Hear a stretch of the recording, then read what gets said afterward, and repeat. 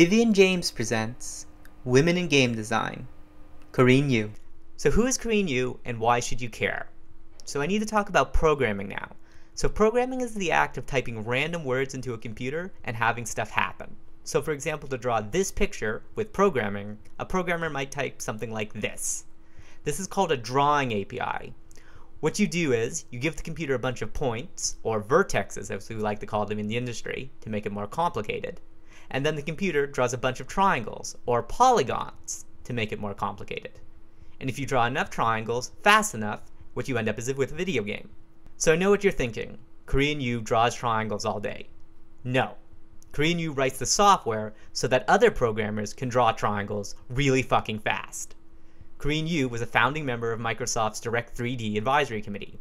Direct3D is part of the drawing API for DirectX. And DirectX is what all the games on the Xbox, the Xbox 360, and the Xbox One use to draw triangles.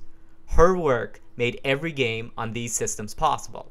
Because she's so good at making computers draw triangles, she's worked on games like Spec Ops, Brothers in Arms, and Borderlands as a director of technology. And in 2008, she worked on Halo 4, designing a better way to draw triangles that are lit correctly. She now works on the PlayStation 4, which does not use DirectX, and is coming up with even newer and even cooler ways of drawing triangles.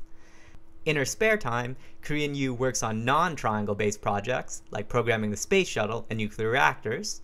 She's won the Best Engineering Award for the GDC in 2009 and 2010, and was identified as one of the 10 most influential women in gaming in the last decade and is the only one that listed engine programming, or the drawing of triangles, on her resume.